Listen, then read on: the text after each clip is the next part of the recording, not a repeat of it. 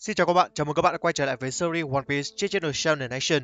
Chương 1050 là một chương đặc biệt khi đánh dấu chiến thắng của Luffy mũ rơm và toàn bộ liên minh Samurai trước đế chế độc tài Kaido vì trận chiến đã kết thúc. Nên chúng ta đều tò mò về diễn biến trong các chương tiếp theo. Hôm nay thì mình đã có thông tin về bản spoiler One Piece chap 1051. Chương này sẽ đưa ra nhiều thông tin khiến rất nhiều người đọc hài lòng. Không khí căng thẳng ở Wano đang dần lắng xuống sau khi Kaido và Orochi đã bị đánh bại. Điều đó có nghĩa là gia tộc Kozuki cuối cùng đã giành lại quyền lực của mình và Momonosuke sẽ bắt đầu công cuộc xây dựng lại quê hương và chắc chắn trong tương lai Momonosuke sẽ là người rất bận rộn. Và tất nhiên, đó không phải là điểm đáng nổi bật trong chương 1051. Đúng như nhiều người dự đoán, Yamato cuối cùng cũng sẽ tiếp bước thần tượng Kozuki Oden của mình bước chân ra ngoài thế giới mới để bắt đầu cuộc hành trình của riêng mình. Trong video này sẽ chỉ đề cập đến những thông tin được tiết lộ sớm nhất ở trong chương 1051. Bây giờ, hãy cùng mình theo dõi. Tên chương có tựa đề Tướng quân của Wano quốc Kozuki Momonosuke. Trang bìa Jerma đào tẩu.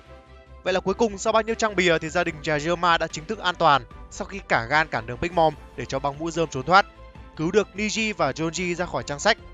Tiếp nối nội dung trước trước, sau khi tạo ra được hỏa vân và dùng hết sức để cứu thủ đô trước sự rơi tự do của hòn đảo, thì giờ đây Momonosuke đã hóa trở lại thành hình dạng người trưởng thành và đang có vài lời phát biểu trước toàn thể cư dân Wano. Đặc biệt hơn thì những tiết lộ đầu tiên cho chúng ta biết rằng Momonosuke có một mái tóc rất dài.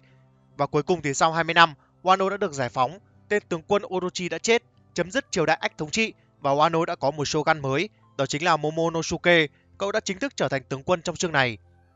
Chúng ta còn được biết rõ hơn về sức mạnh của Tama qua một đoạn hồi tưởng nhỏ. Sức mạnh trái ác quỷ thuần hóa của cô bé chỉ tồn tại được đúng trong một tháng.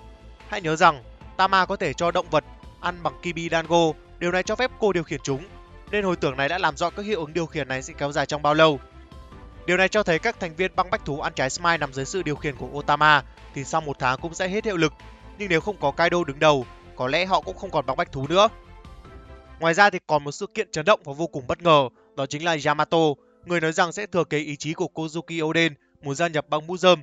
Yamato là một trong những nhân vật nổi tiếng nhất trong truyện và cô ấy chỉ mới xuất hiện vào năm ngoái. Chúng ta đều thích thiết kế độc đáo, khả năng chiến đấu và việc liều mạng bảo vệ mọi người của cô. Cô ấy nói rằng cô ấy muốn tham gia cùng họ trên tàu Thousand Sunny bởi vì cô ấy muốn viết tiếp những trang nhật ký còn đang dang dở. Băng mũ rơm vừa vui vừa sốc vì điều đó và chúng ta cũng rất vui khi chứng kiến sức mạnh của băng mũ rơm ngày càng mạnh lên. Bây giờ thì không phải là bộ ba quái vật nữa mà khi có sự góp sức của Yamato, người sở hữu trái áo quỷ doan thần thoại cũng như sức mạnh đã được phô diễn trong phần Wano, con cái của Kaido thì băng mũ rơm sẽ có bộ tứ quái vật. Sẽ ra sao nếu Yamato sát cánh chiến đấu cùng cả băng, chiến đấu chống lại hải quân và dâu đen? Mình rất nóng lòng muốn xem Yamato thể hiện bản lĩnh. Với sự tham gia của Yamato, băng mũ rơm và Luffy sẽ trở thành một thế lực cực kỳ đáng sợ. Những thành viên mới mạnh mẽ như Jinbe và Yamato, băng mũ rơm đang sở hữu những thành viên mạnh mẽ nhất của thời đại mới trên con tàu của chính mình. Tin rất vui thì tuần sau vẫn có chương mới. Trên đây là những chi tiết đầu tiên tiết lộ về chương 1051.